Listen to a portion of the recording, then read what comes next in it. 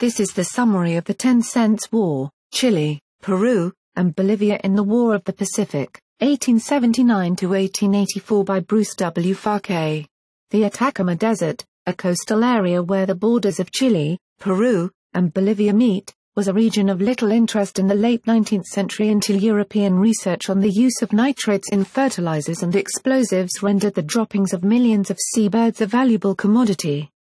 In a move that echoed the California gold rush, the three neighboring countries soon battled for control of the region.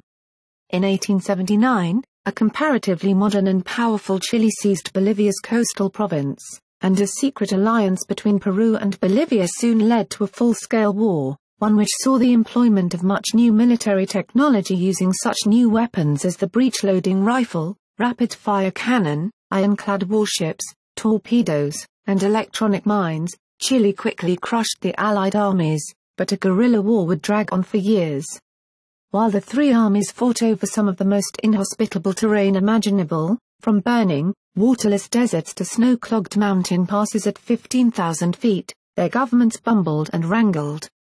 In the end, the lure of easy wealth undermined the economies of all three nations and served no good purpose when the market for nitrates soon evaporated, leaving all three much poorer for the experience.